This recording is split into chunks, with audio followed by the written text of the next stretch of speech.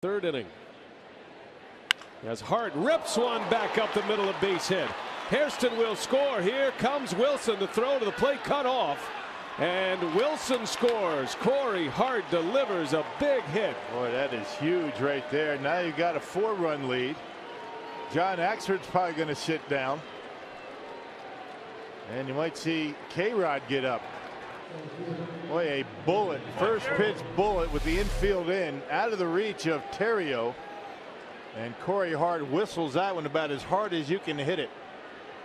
Some aggressive base running by the Brewers. Josh Wilson able to score from second base. The throw was off the mark. Two